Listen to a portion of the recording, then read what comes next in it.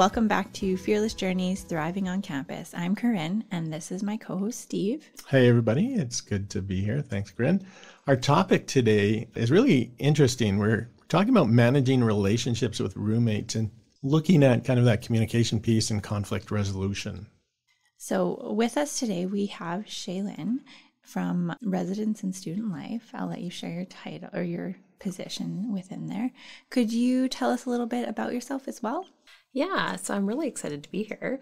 I'm the Residence Life Coordinator. Um, part of my position is helping residents thrive when they first move into residence and move away for the first time. It can be a tricky situation learning how to um, live with roommates or live away, and that's where my position really comes into play. I guess a little bit more about myself. Um, yeah, if you'd like. Yeah, I guess I am from Lethbridge and I was a student here originally before going over to the U of L, and I'm excited to be able to give back to uh, our campus community. That's really awesome. awesome. I guess in your position, you see a lot of this, uh, and we were talking about this at one point adulting just starting out, right? So we call it adulting 101 kind of thing. So yeah. you probably see a lot of that. Yeah, definitely.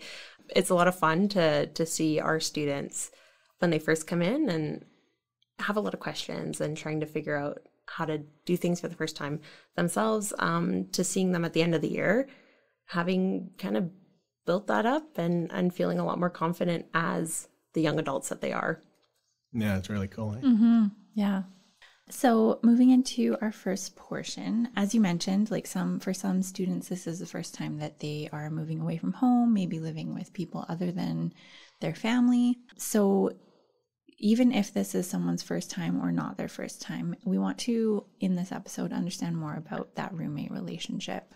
Um, knowing that it can be really awesome, but it can also be really difficult.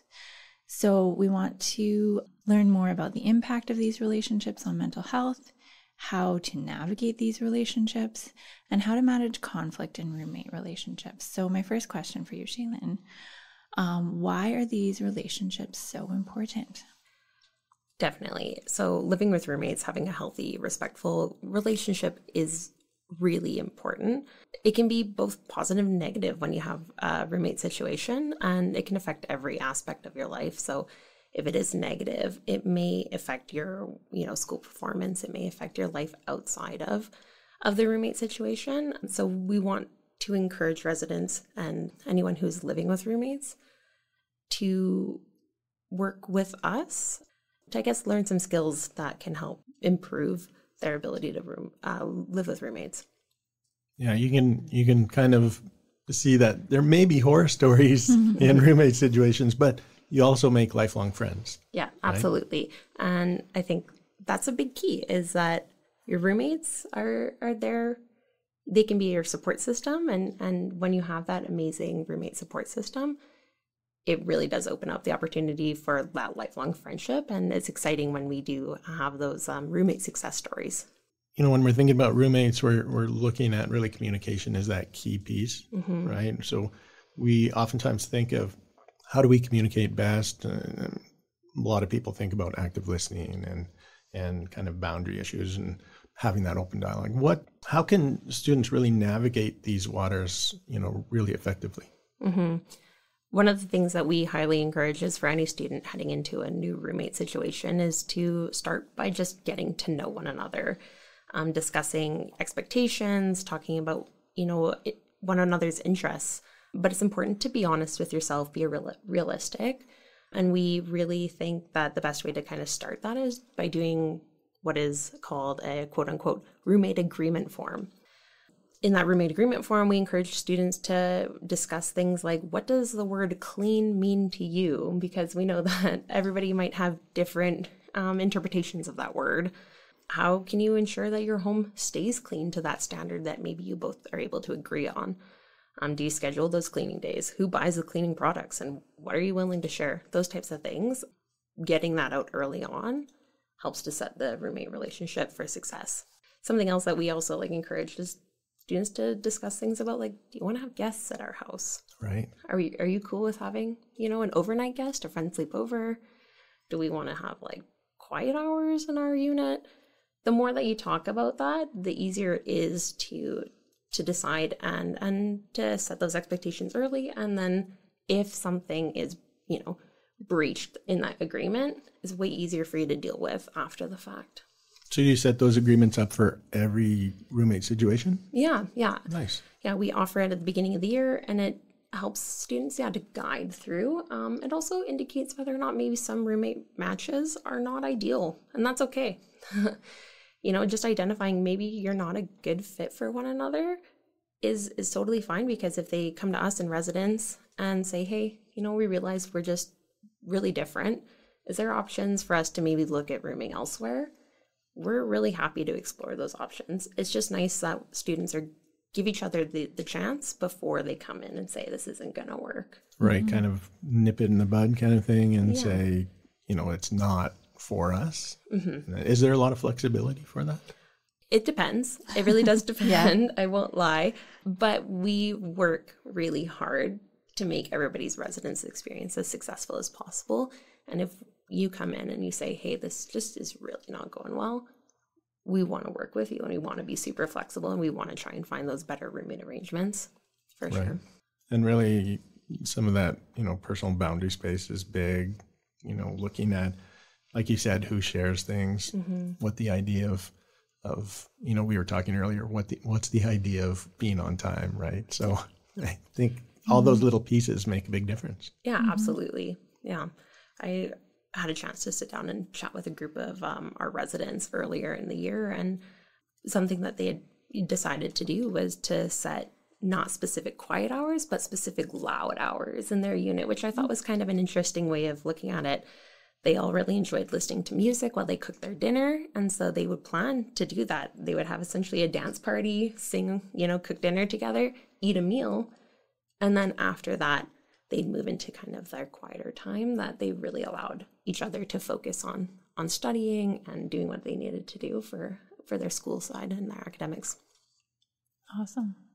Now, I'm guessing that residence life has their own specific desires and rules, and does that play a lot with those, you know, roommate agreements? Yeah, yeah. We we do require it for anyone who is in a um, roommate uh, shared living accommodations because we do know that without that first opportunity to communicate and get to know one another and really really speak about some of those critical those critical things roommate relationships or roommate success is very likely to be a little bit poor. So we require it at the beginning of the year because we just want to set students up for as much success as possible and yeah help identify what it is to be a good roommate and and what things make you hopefully a good roommate Mm-hmm. Mm-hmm. Yeah, that's really cool. I like I like that idea. I think that can be really helpful for people who are in other like roommate situations, not just residents. Like having that conversation with the person you're moving in with before you get into those things that piss you off, and it's like because we didn't have that conversation, we didn't know what that person wants. yeah for sure How can post secondary students handle conflict constructively? Risk of sounding like a broken record, but quite simply just talking to one another, being prepared to listen also when you're entering into those conversations. If there are issues that you feel you need to address with your roommate, bringing them up sooner rather than later. Don't let that fester. Talk to your roommates directly. Try not to just put it into a group chat, but actually sit down with your roommate face to face and have those conversations. I also think it's super important for um, residents, anyone on campus, off campus, wherever you are, considering your own impact. Like, take a moment to acknowledge how your roommates might feel and how they may be impacted by your own personal actions and behaviors, and reflect on those. Um, A little being self awareness piece, right? mm-hmm Yeah, if things don't improve after, you know, addressing your concerns, like that's okay. It's not always going to be perfect living as roommates, right? But sometimes it's helpful to bring in a third party. So in residence, you have the option of of bringing in resident assistants, the RAs, bringing in our office staff. We'd be happy to come in and, you know, facilitate those conversations a bit. But if you're living off campus, maybe if you have another friend or another person who lives with you, maybe having a third party come in and help be that objective outside opinion, that can be pretty helpful. yeah, looking for those mutual, um, you know, solutions to any of those problems. Yeah, yeah, and exactly. And, and trying to always think about it from the sense that, like, you're both living here. Do you want to live elsewhere? You know, if this, if the housing situation is great, work together to make the rooming situation equally as great. Mm-hmm. Well, and sometimes, like off campus, you are in those agreements and you can't just leave. You have to stick it out. So, how do you do that? Exactly. Yeah. And even off campus in Lethbridge here, the rental market is crazy and you can't even get into a new place Yeah. usually. So it makes it quite difficult, I'm sure. Yeah, definitely. So finding a way to work together with your roommates is, is really important. Do you find that there's more conflict with, let's say, a unit with uh, two roommates compared to four roommates? Is is there a lot of difference? Yeah, that's a good question. I haven't specifically noticed. I wouldn't say I think there's much of a difference. It just is dependent upon the people in the roommate situation. I think it, the more that you increase numbers, there's likely higher risk of of differing um, opinions because there's just more people, more opinions. It just depends on the individuals for sure. And my that's at least my experience. Yeah, yeah. And I'm sure you have great experience with it. Yeah. I was thinking, like you mentioned, addressing things before they get too big, mm. having that conversation, um, trying to have that in person. I was just thinking, like, imagining myself back then, I would have had a lot of trouble, like, openly communicating with somebody. So I think, do you think it would be appropriate to reach out and say, hey, can we have a conversation via online or texting or whatever? Yeah, Yeah. yeah, I definitely agree with that. Maybe at 18, I wouldn't have been prepared mm-hmm. to have that sit down conversation. Mm-hmm. I think if you need to, going down, writing things down can be really helpful and it can express thoughts a little bit more clearly and concisely too. I think it's important to maybe before you do that, take some time, take some space before you write something down. Similar to the idea you should never write an email while mad.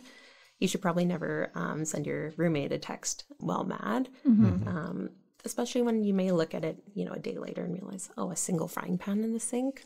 It's probably not the thing to to phone home about and mm-hmm. and decide to break your lease, but simply, you know, take a day and then say, hey, I noticed this. Mm-hmm. Is there any way we can chat about it?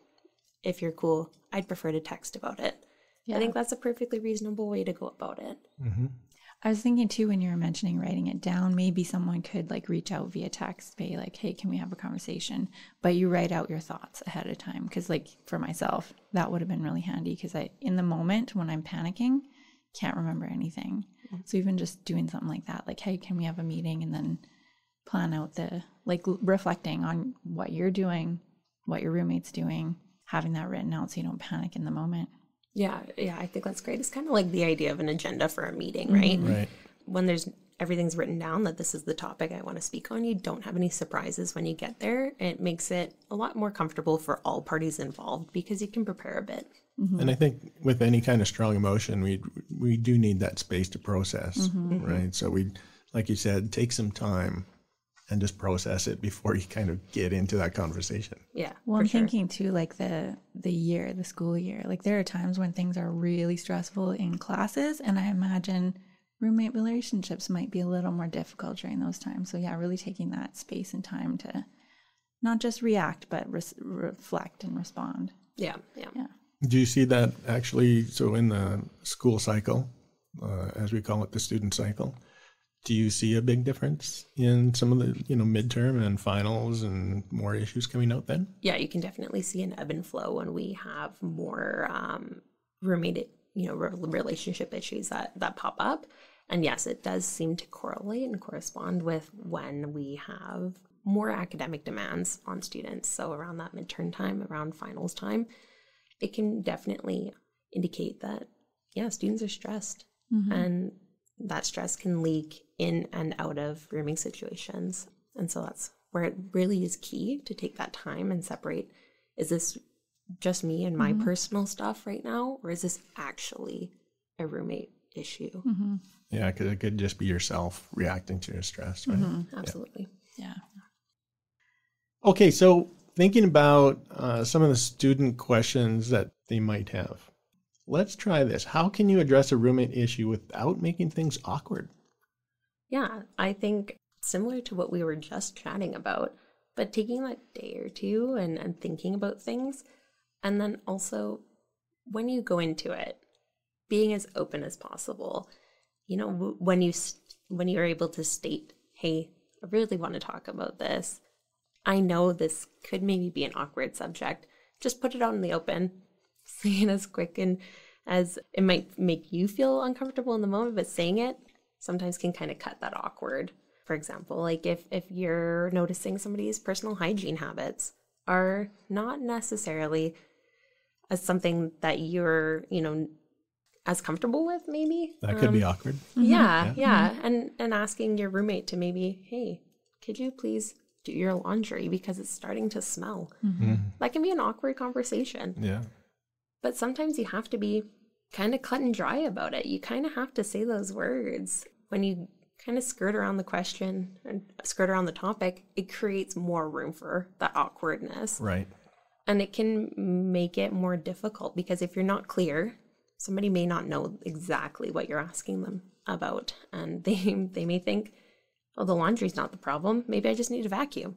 Right. Mm-hmm. Yeah, and and so it kind of it may create further awkward tension within the rooming situations. Sometimes mm-hmm. just being totally upfront can help. Mm-hmm. It kind of goes back to that adulting 101, right? A lot of students may come in and not really have the skills of doing their own laundry or, or they've never done it before, right? Or they typically shower once a week kind of thing and so that could create a lot of awkwardness there yeah mm-hmm. for sure and just yeah i think recognize that also people are different mm-hmm. sometimes you have to set aside your own opinion of what a you know shower schedule should be like and understand that it's okay for your roommate to maybe want to not shower every day. Mm-hmm. some people just can't and recognize and and look and back on yourself and, and think maybe I also have some habits that they think are weird, and try to try to find that happy middle ground. Mm-hmm. Mm-hmm. It's kind of um, there's a piece to it, maybe a multicultural piece as well, right? Mm-hmm. So multiculturally, we have different values and opinions coming into a situation. Yeah, yeah, absolutely. I um, was speaking with some other professionals within the residence life field, and one of my colleagues from Medicine Hat College, she herself is an international student. When she first came to Canada, had never used a um, a vacuum cleaner before, and she said it was quite confusing for her. And you know, she had a few roommate tiffs because there was you know dirt and stuff on the carpet and roommates were getting upset and she was really confused because she didn't really feel comfortable using that vacuum right. it took a little bit of understanding from her roommates to show her how to do it to build her confidence to start vacuuming in the unit mm. you know Mm-hmm. Very interesting. Yeah, right? yeah. So going back to the conflict with roommate, you had mentioned like bringing somebody else in. Uh, I also wanted to just plunk in there, like if people need to talk to somebody to like figure out what to do, there's also wellness services. We have a number of staff in our office who either someone could drop in to talk to our mental health support and just kind of problem solve through that, figure out what to do, how to say what's going on, or there is counseling as an option. Like if those roommate relationships are really difficult, navigating that is really, really difficult, potentially counseling could also be another support. Yeah, I I definitely recommend anyone to access those services mm-hmm. for sure, especially if you feel that your rooming situation is affecting you. Mm-hmm. Mm-hmm. Yeah, because ultimately we have control over ourselves, not other people. So, yeah, figuring out how to navigate that on our own, or yeah. like with those supports can, and even building the self reservoirs to to handle some of that stuff because. Mm-hmm. Yeah, like we've said, rooming is not always a perfect, linear, great experience. Mm-hmm. And sometimes you just have to have the ability to handle a crappy situation mm-hmm. sometimes. It's not perfect, it's not great, but it kind of has to happen sometimes. Mm-hmm. Mm-hmm. Sometimes we just need to work through it. Yeah. So, our next question for you What can someone do if their roommate's habits are affecting their sleep? Mm-hmm. This is one that does come up fairly mm-hmm. often in residence for us. I think, yeah, again, talking to your roommates is the best first course of action and maybe understanding like why their their behaviors are affecting your sleep Something that I had never considered was time frame, uh, time change differences. We have a few residents who, quite a few residents who are international students who call their families early in the morning and don't necessarily think that voices carry as well on the phone through through thin walls. And so sometimes we've had that affect their roommate's sleep schedule and really simple simple changes can make it so that everybody in that circumstance is happy. So having um, maybe some of our students who aren't wanting to have those late night calls, they have access to the residence hall spaces 24 7. So choosing maybe to go there, have that phone call can help alleviate that that situation for for themselves. They can still have that phone call, but their roommate can sleep through the night without being affected. Yeah. hmm And and looking at kind of those conflicts, like you mentioned, just that open communication, but maybe looking at you know using those I statements or I feel this right when this happens, I feel. Yeah. I think probably is a a good key in in approaching those kinds of situations. Yeah, for sure. Especially if it is affecting sleep. That's one of those really big things that can lead to an even bigger conflict. So, starting that early and having those conversations that, hey, when you're up all night, I'm unable to sleep and it's really affecting me. The sooner that you say that, I think the more positive the response from your roommate would would hopefully be, right? Mm-hmm. Son, sometimes sometimes noise is just going to happen too, Yeah. right? Mm-hmm. You know. In residence, we we don't have a no party rule. We don't have a no no noise rule. We don't even have set quiet hours outside of exam time. No yeah, way. surprise. Surprise. the only time we have set quiet hours is during exam time right. But we want we want students to have a fun time. We want them to get together with their community and build um, those friendships and relationships. So we know that partying kind of comes with it but we ask students to party respectfully or or to choose to to have a good time with their friends in a respectful manner and sometimes that is reminding them to keep their music a little bit lower and and talking to their roommates ahead of time. And so maybe you know if you know that you can't stay up super late but your friends or your roommates have have asked for your kind of your consent to have a party. If you agree to it maybe planning out then hey i need a pair of earphones or um, earplugs and maybe i need a white noise machine or something like that so i can kind of cut that noise down because you know realistically we want students to have a have a reasonable time and have a have a good time in residence but in a respectful way. And it doesn't just affect roommates because you've got, you know, mm-hmm. row houses in a mm-hmm. sense, right? So you've got people on your left side, people on your right side, and if you're throwing a big party, well, yeah everybody's awake. Mm-hmm. Definitely, definitely. Um, and so it's just easier to to knock on your neighbor's door, you know, before, hey, I'm having some friends over. Do you have an exam tomorrow? Oh, you have an exam tomorrow? Well, maybe I won't actually do it tomorrow. I'll wait till till later in the week or something like that. That's pretty simple way to make sure that you're still able to have that party, you're still able to have a little bit of fun, but in a respectful way because you've just know recognize that your neighbor is is in a critical time in their their uh, schooling, and so hey, you can you can be a good neighbor by postponing your party by a couple of days. Right. And I'm sure that happens all the time. Yeah, Maybe. Maybe not. Maybe. Well, I was thinking that's really good in the community too. Like if you're off campus renting, Mm-hmm. like talking to your neighbors, like having that rapport and that relationship so that, yeah, you can maybe postpone that party or like have that communication so that they're not calling the cops on you or whatever yeah, and you're getting in trouble. yeah, exactly. And and sometimes post secondary students get a bad rap because Mm-hmm. when they're living in community, you don't necessarily think about that because you've never necessarily had to. But just taking that little extra step Right. to talk to your neighbors to mm-hmm. to ask, oh, you know, is it okay? And and finding out a little bit about your neighbors. Maybe they have young kids who do mm-hmm. go to sleep at seven a.m. or seven p.m.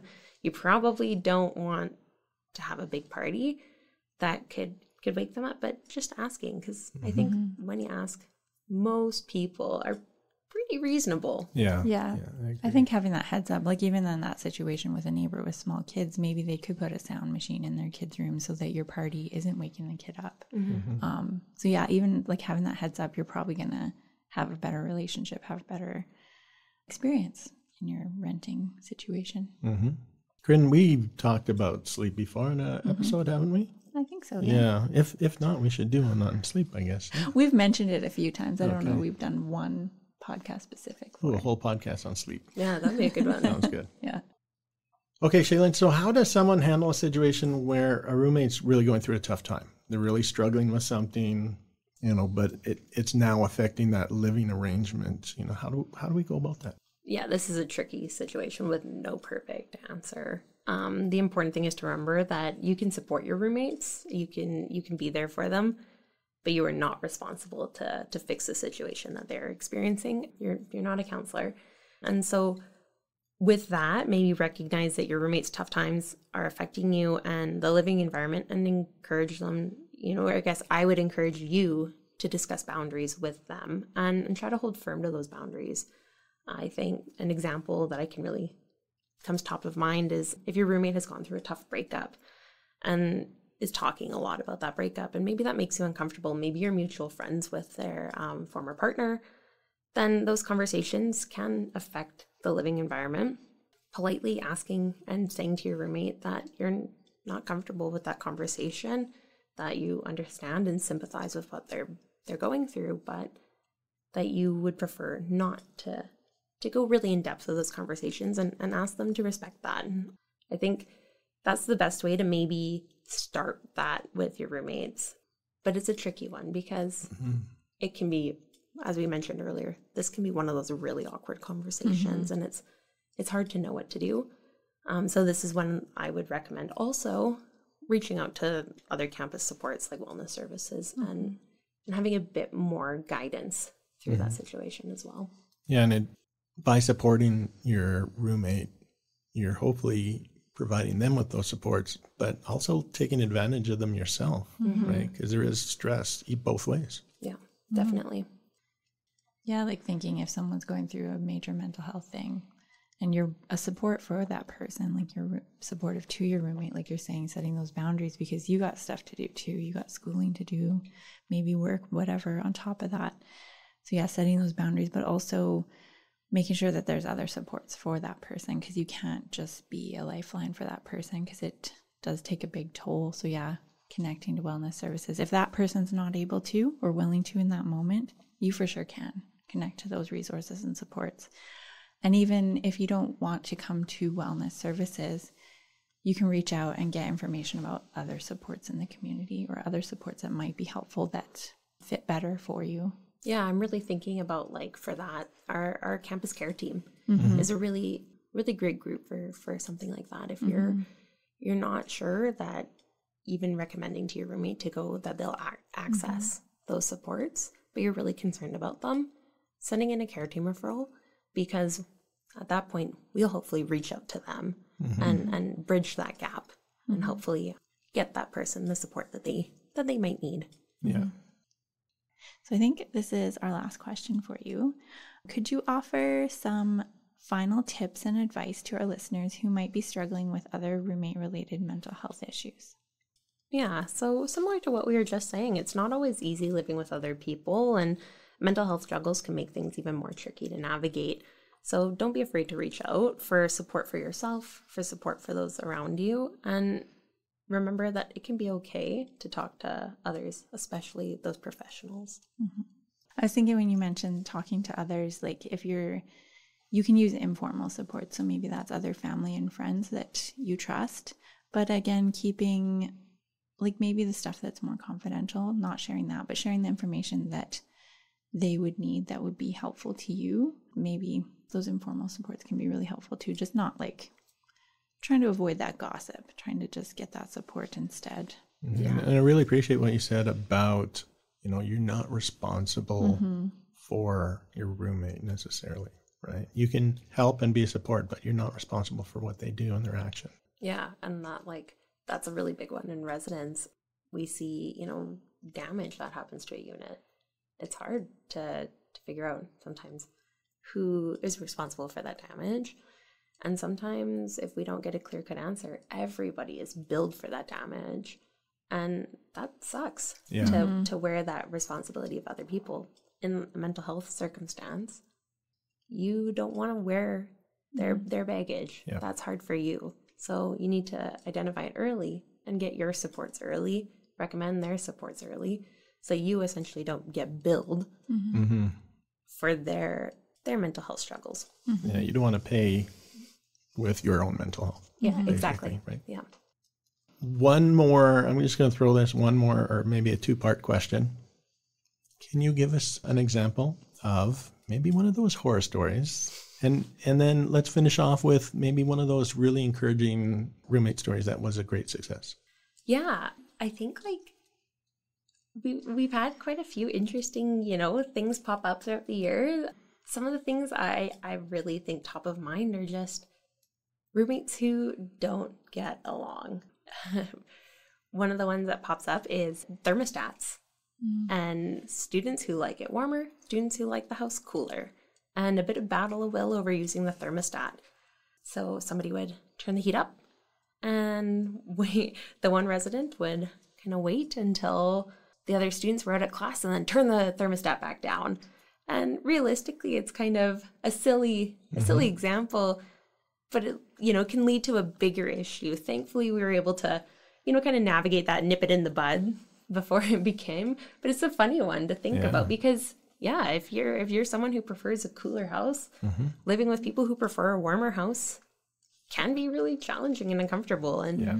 um, it's not something that I ever considered until working in this in this area and it was kind of just a fun one for me to learn through the process because it did end positively. So no physical, you know, altercations, hopefully. Oh, thank goodness no.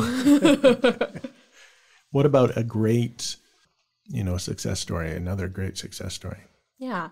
This this year I actually did reach out to some some of our residents to ask them about their rooming experiences and to find out about how they how they enjoyed um, their their roommate relationship and and if it, they felt it was a good fit.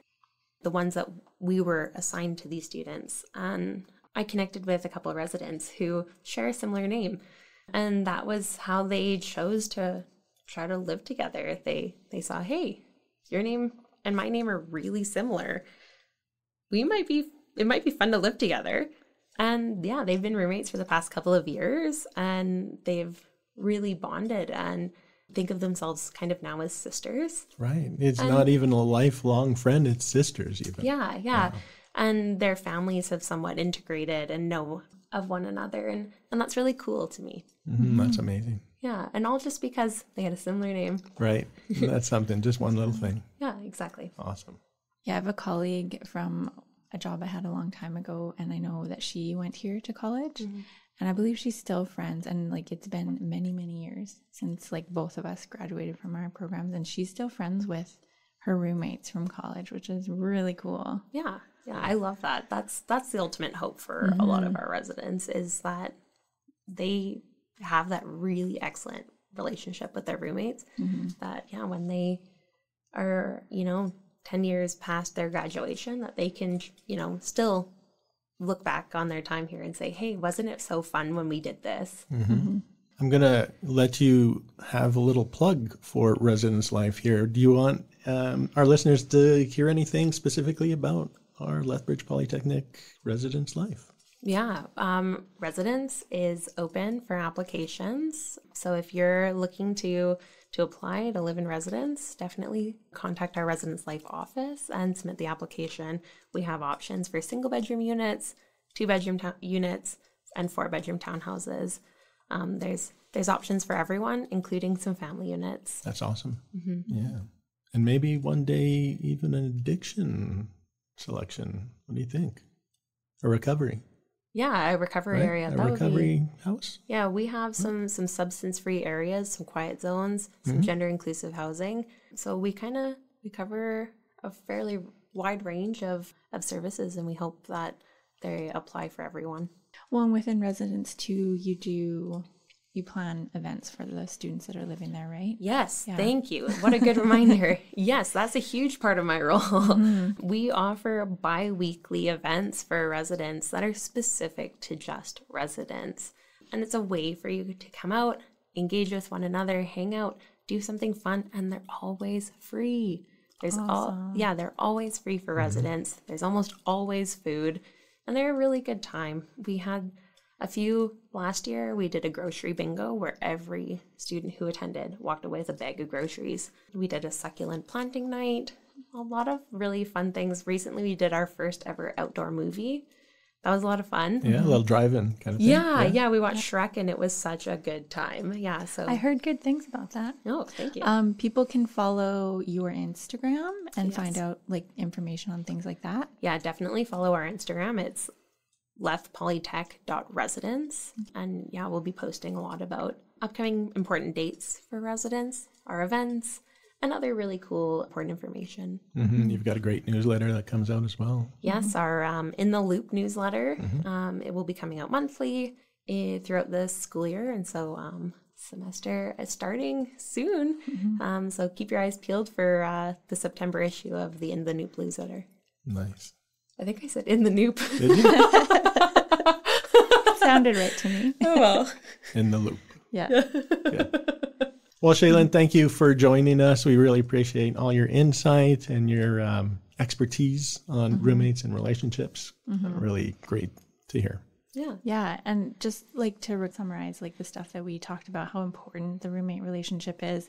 And I'd like to mention like with that those skills that you're learning in these re- roommate relationships will be helpful moving forward in your life living with other people, but also like career and professionally as well, like figuring out how to manage differences, how to manage conflict can be really beneficial. So practicing that with our roommates can maybe be a safe space to figure out those skills um, that effective communication, investing in these relationships can have a really big impact. Help us in the moment in our schooling, but also maybe those relationships can be supportive in our life going forward. And then with all of this, creating that harmonious living space can be really beneficial in school. I also wanted to highlight like the pieces of residence where you're building that community. We've talked in past podcasts about the importance of having fun time doing things to take care of ourselves. So if you're in residence, taking advantage of those. If you're not, finding that community elsewhere. And just looking at challenges as a growth opportunity, mm-hmm. right? Yeah, exactly. So, thank you all so much to our listeners for tuning into this episode. Remember to share this episode with your fellow roommates or others who might benefit from it. And then also subscribe, send us comments. You can email us questions to our email. Thanks for tuning in, everyone. In your post secondary journey, every challenge is just a stepping stone to your success. So stay fearless, communicate, and keep thriving.